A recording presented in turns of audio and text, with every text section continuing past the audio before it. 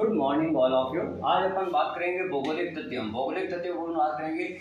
प्रवाल विधियों के प्रकार और प्रवाल विधि क्या होती है सो जो समुद्र के अंदर जो समुद्री निक्षेप होते हैं जीव जंतुओं के अक्षर उनसे निर्मित जो द्वीप द्वीप होते हैं उन्हें अपन प्रवाल विधि कहते हैं और ये प्रवाल विधि तीन प्रकार की होती है एक होती है तट के प्रवाल विधि यानी जो समुद्र के तट के पास में बनने वाले जो द्वीप हुआ है उन्हें अपन तट के प्रवाल विधि जैसे सकऊ द्वीप है अंडमान निकोबार द्वीप है और दूसरा है अवरोधी प्रवाल वृत्ति और अवरोधी प्रवाल वृत्ति का सबसे बेस्ट उदाहरण है ग्रेट बेरियर रीफ यानी ऑस्ट्रेलिया के जो समुद्र तल के पूरी भाग पर जो सबसे लंबा अवरोधी प्रवाल वृत्ति का उदाहरण है यानी समुद्र से थोड़ा अंदर और एक होता है वलयकार या एटोर प्रवाल वृत्ति जिसका उदाहरण है फुट्टी